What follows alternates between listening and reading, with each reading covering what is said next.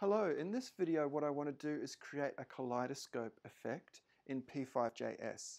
And you all know what a kaleidoscope looks like. It's this kind of repeated pattern um, that's created with a little tube that has mirrors inside it. And there's a good explanation of how that works I found on this Science Buddies page, and there's quite a good diagram down here at the bottom.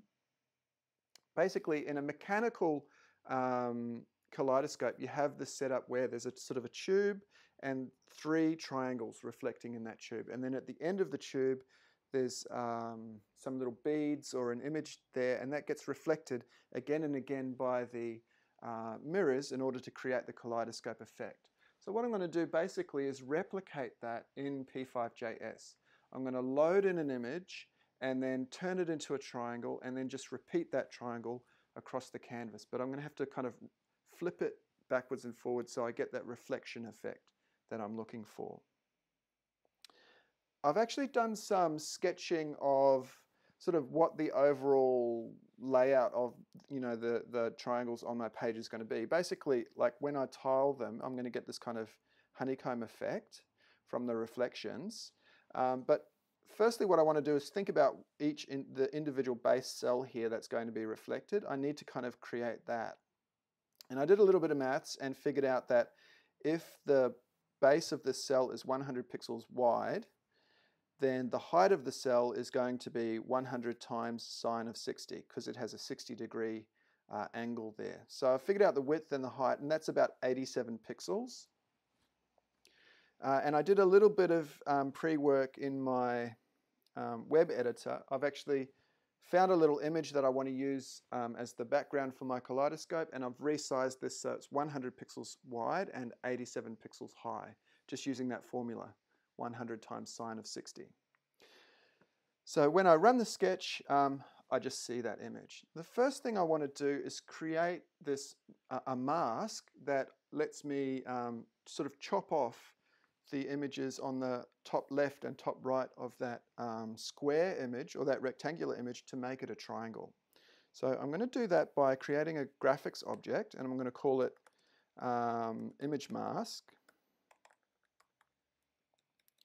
And in the setup function I'm going to say image mask equals create graphics and it's going to be the same width and height as my uh, pebble image. That's 100 pixels wide and 87 pixels high. If you were using a base image with a different width and height, you just have to change those numbers. And if you want it to be an equilateral triangle, you might want to change the what you put into that formula. So if it was 200 pixels wide, the height would be 200 times sine of 60.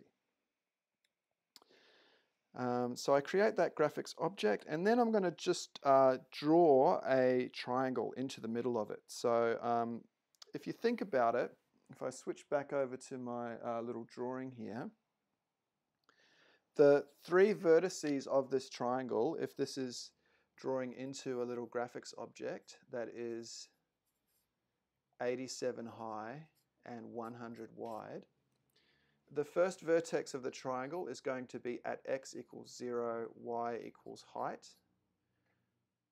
The second one is going to be at x equals width over 2 and height equals 0. And the last one is going to be at width, height.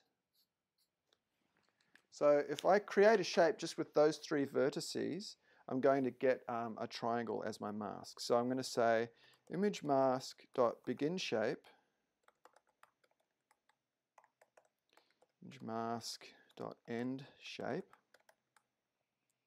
And I'm going to turn off the stroke.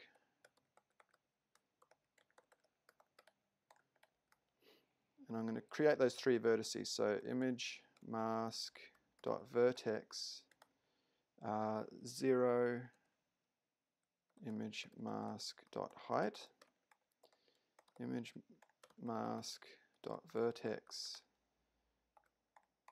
image mask dot width over 2 uh, 0 and then image mask dot vertex mask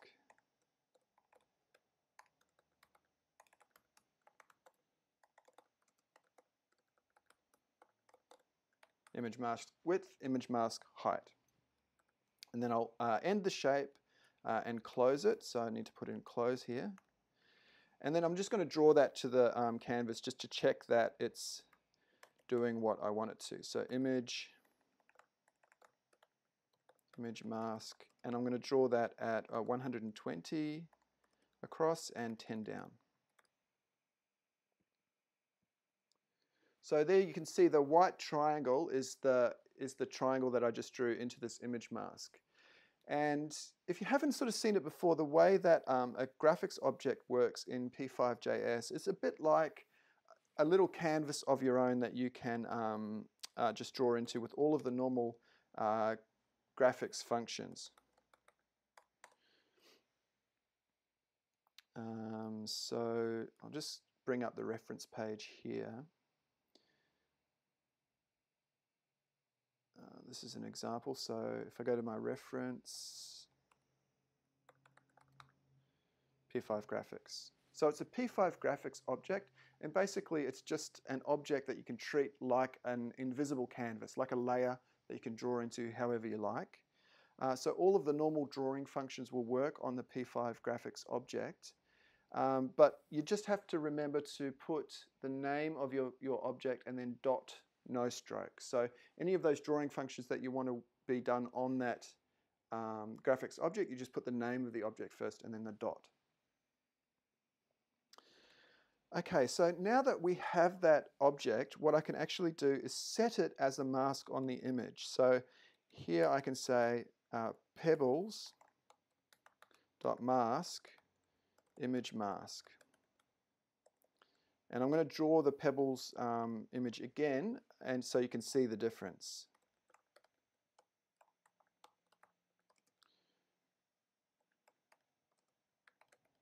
And I'll turn off looping so that it doesn't, um, it only does it once. Then we can see the difference. So you can see uh, when I take that white triangle and use it as a mask on the pebbles image, it actually, anywhere that's transparent on the, on the mask image, in this case the corners of that triangle, that, that gets masked out on the, on the final image. So we can actually use this now. We've got this, um, this little triangular sort of image that we can paste around on the page. So let's have a think about how we're going to need to reflect and rotate and translate this to get the effect of the kaleidoscope across the page. If I just switch back here and go to this drawing, what I want to do is think about what are the reflections that I'm going to have on this um, on these images. So like if I imagine that these corners are mirrors and say I had an image like that in the first um, case, in this one it's going to be reflected upside down like that. And in this one it's going to be reflected this way. And in this one it's going to be reflected, whoops, more like that. So I've got this quite complex um, reflection going on.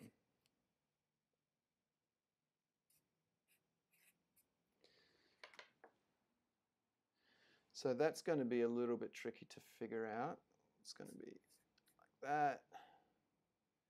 Um, yeah. So what I should probably think about next is how can I uh, make this image do these reflections. So I think what I'll, what I'll do is end this video here and then I'll come back with a part two where we figure out how to actually reflect an image in all of those different orientations. I'll probably um, just improve the image that I'm using so it's a bit clearer how it's getting reflected. And in the next video, I'll just do those reflections and then in the final one, we'll look at how we can tile them across the screen. Thanks for watching and I hope you um, can use this to come up with some wonderful creative coding examples of your own. Bye.